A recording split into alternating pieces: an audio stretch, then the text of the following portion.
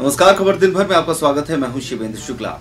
माँ बाप ने जीवन भर की जमा पूंजी से एक आशियाना बना है, लेकिन कलयुगी बेटे और बहू ने उन्हीं माँ बाप को उस आशियाने से बेदखल कर दिया। सिंचाई विभाग में भृत्य के तौर पर पदस्थ 60 वर्षीय भगवान दास रैकवार और उनकी पत्नी रामकली रैकवार एक वर्ष से अपने घर से बेघर हैं। अब तक वे सरकारी तौर पर मिले सिंचाई विभाग के क्वार्टर में रह रहे थे, लेकिन 30 जून 2019 को रिटायरमेंट के बाद उन्हें सरकारी मकान छोड़ना पड़ेगा।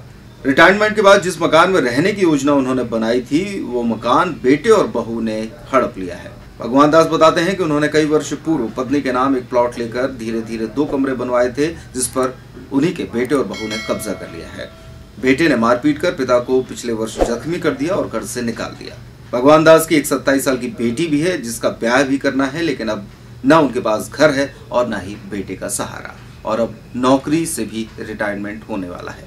हमारी हमारी पत्नी ने हमने बड़ी मुसीबत से पैसा थोड़ा थोड़ा करके जोड़ा है। वो अपनी पत्नी के नाम एक तो प्लाट लिया था।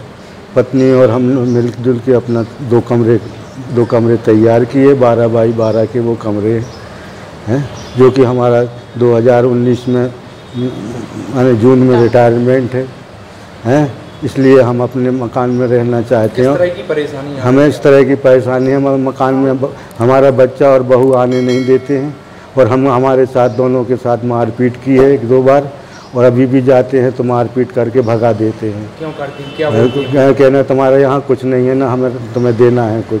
तो किसने मकान बनवाया? मकान हमारी पत्नी ने बनवाया है। अब आप क्या चाहती हैं? हम अपना मकान चाहते हैं। कब से आप भटक रही हो? हम हम करीब?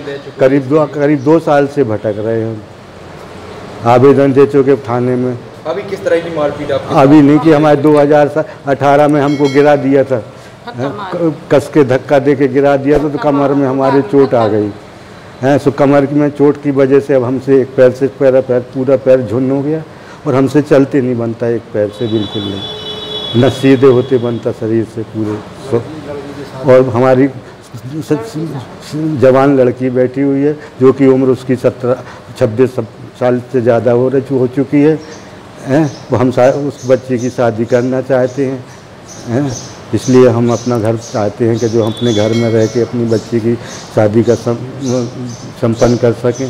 परेशान है कि हमारे बेटे ने हम मकान लिया था, हमने बनवाया था तो उसने कब्जा कर लिया। अब रहने को नहीं है हमारे लिए जगह, और हम कहाँ कहाँ जहाँ ठोकरे खा रहे सब जगह जा रहे हैं? तो हमने सब जगह शिकायत कर दी। अगर कोई शिकायत सुनाई हो जाए हमारी तो हमें बहुत परेशानी आ गई है और ऐसा कोई का बेटा ऐसा न जो हमारे साथ करे। खबर दिन भर में इस बुलेटिन में फ़िलहाल इतना ही। नमस्कार।